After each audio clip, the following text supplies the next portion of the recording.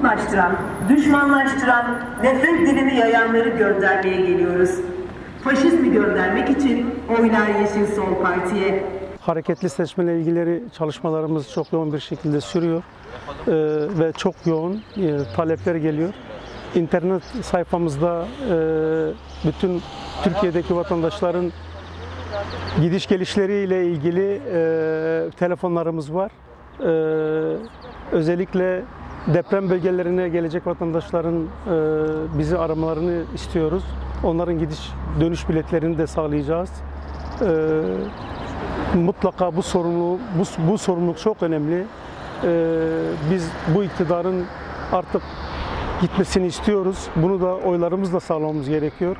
Sorumluluğum yani duyarlılığımızı bu konuda e, kaybetmemeliyiz. E, bütün e, oy kullanmak isteyen vatandaşların gidiş geliş e, biletlerini karşılayacağız.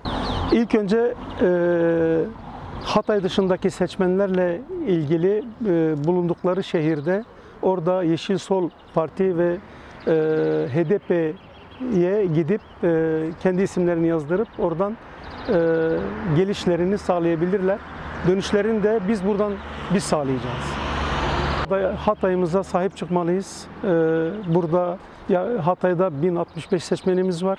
E, herkesin oy kullanmasını istiyoruz. Bu sorumluluğa davet ediyoruz arkadaşları.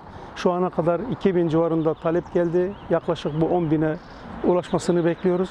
Ve hepsi bütün seçmenlerimizin e, gelişlerini, gidişlerini sağlayabileceğimiz, sağlayacağımızı söylüyoruz.